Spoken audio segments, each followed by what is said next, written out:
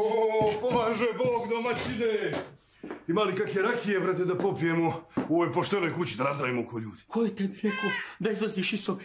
Ko ti je rekao da izlaziš iz sobe? Ne mogu, brate, ili mi ja izlude, bre, više gore, ko, ko neki zatvorenik, bre. E, kralju mali, da znaš među kakve si budale došao, ostao bi sto godina na Romaniji. Sjedi tu, sjedi tu. A, može, može, kakve rakije imaš? Rakije nema, ima samo kafa. Jer ako se napiješ, može ti ispasti iz ruku. Šta je može ispasti iz ruku? Beba ti može ispasti iz ruku, hajde. A šta ti je, bre, ej, bre, šta mi uvali u bebu, bre? Vojvoda, uvalio sam ti je zato što si ti pozvaniji da čuvaš tu bebu nego ja. A šta zboriš, bre, ti? Sad je ta beba čisto vaš četnički problem, nije moj. Evo ti kafa i trebu si se obrijati u oči bebe, dijete odmah počelo plakat kad te vidi.